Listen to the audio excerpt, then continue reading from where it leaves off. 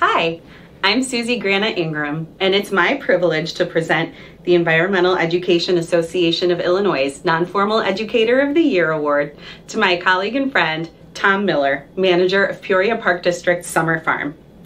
Tom, or Otter as he's known in the world of Ancient Oaks Day Camp, has been a longtime proponent of outdoor education in the Peoria community.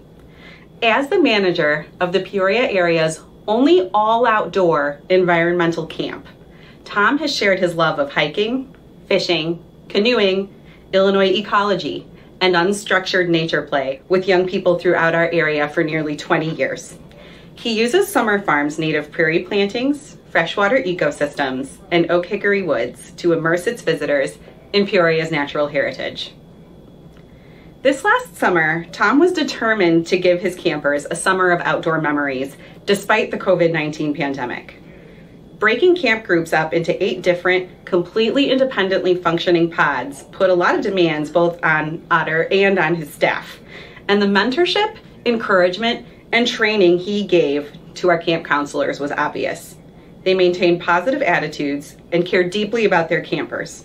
And over the years, a number of these staff have gone on to become environmental educators themselves, no doubt thanks to Tom's mentorship and influence.